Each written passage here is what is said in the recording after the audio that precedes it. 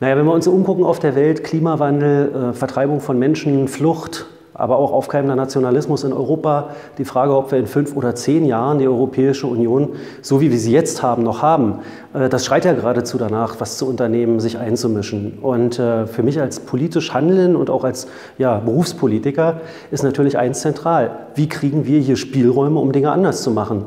Und da gibt es dieses Bon mot, Roosevelt soll zu seinem Assistenten gesagt haben, jetzt geh raus und sorge dafür, dass ich tun kann, was ich tun will. Und darum geht's auch mir Beine machen, damit ich durchsetzen kann, was ich durchsetzen will.